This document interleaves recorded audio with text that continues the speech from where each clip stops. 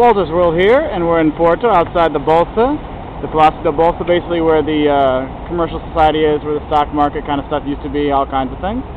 And what's nice is this little square, right before you get into the, the real downtown Ribeira district, you have the market here, the Mercado. It's covered up right now, but they're redoing it.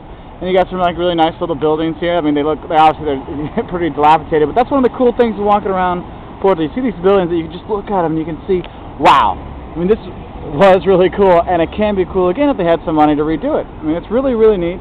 You know, another amazing church right over there. Go check out all kinds of stuff. And what's nice is, right down there is the river, and we can go over to Gaia or go over and have some port wine and all kinds of stuff. So I think that's where we're going.